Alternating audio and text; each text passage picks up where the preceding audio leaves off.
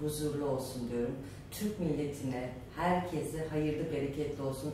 Lütfen trafiğe çıkan e, insanlar araçlarına dikkat etsinler. Yolda tırda kamyon kamyon kamyona geçmesin. Siz kurban olmayın motorlara dikkat edelim.